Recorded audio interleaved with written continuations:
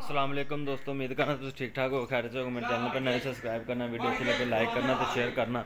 ਅੱਜ ਸਾਡਾ ਪਹਿਲਾ ਵਲੌਗ ਸੀ, ਅੱਜ ਅਸੀਂ ਨਹਿਰ ਤੇ ਆਏ ਹੋਏ ਹਾਂ ਤੇ ਮਲਕ ਬਾਸ਼ਫ ਸਾਹਿਬ, ਅਲੀ ਹਮਜ਼ਾ ਰਹਿਮਾਨੀ ਸਾਹਿਬ ਤੇ ਸਮਰ ਸਾਹਿਬ ਤੇ ਮੁਜ਼ਮਲ ਪਿੰਡ ਦੇ ਲੋਕ। ਅੱਜ ਅਸੀਂ ਆਏ ਹਾਂ, ਇਹ ਵੇਖੋ, ਅੱਜ ਅਸੀਂ ਤੁਹਾਨੂੰ ਆਹ ਵੀ ਨਹਿਰ ਦਾ ਵਲੌਗ ਬਣਾਇਆ, ਇੱਥੇ ਨਹਿਰ ਤੇ ਆਏ ਤਾਂ ਸਾਨੂੰ ਮਿਲ ਗਿਆ ਸੱਪ। ਤੇ ਸੱਪ ਪਾਣੀ ਛੋਟਾ ਛੋਟਾ ਨਹਿਰ ਸੁੱਕੀ ਪੀ ਉਹਦੇ ਵਿੱਚ ਸੱਪ ਅਸੀਂ ਮਾਰਨ ਦਾ ਲੇਕਿਨ ਉਹ ਅੱਗੇ ਪਿੱਛੇ ਹਿਲਦਾ ਨਹੀਂ ਪਿਆ ਐਵੇਂ।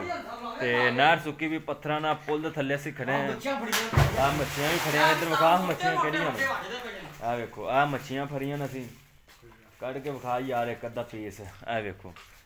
ਆ ਜੇ ਮੱਛੀਆਂ ਫੜੀਆਂ ਨੇ ਤਿੰਨ ਚਾਰ ਜਣੇ ਅਸੀਂ ਆਏ ਹਾਂ।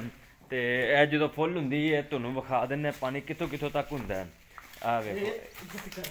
ਇੱਥੋਂ ਤੱਕ। ਪਾਣੀ ਹੁੰਦਾ ਫਿਰ ਬੰਦੇ ਬੰਦੇ ਬੰਦੇ ਜਿੰਨੀ 8 8 9 9 ਫੁੱਟ ਹੁੰਦੀ। ਤੇ ਅਸੀਂ ਜਰਾ ਨਾ, ਇਹ ਬੀਆਰਬੀ ਨਹਿਰ ਦੇ ਵਿੱਚੋਂ ਨਿਕਲਦੀ ਕਸੂਰ ਦੀ ਨਹਿਰ ਦੇ ਵਿੱਚੋਂ। ਤੇ ਵੀਡੀਓ ਅੱਛੀ ਲੱਗੇ ਲਾਈਕ ਕਰਨਾ ਤੇ ਸ਼ੇਅਰ ਕਰਨਾ ਤੇ ਮੇਰੇ ਚੈਨਲ ਸਬਸਕ੍ਰਾਈਬ ਕਰਨਾ, ਓਕੇ ਅੱਲਾ ਹਾਫਿਜ਼।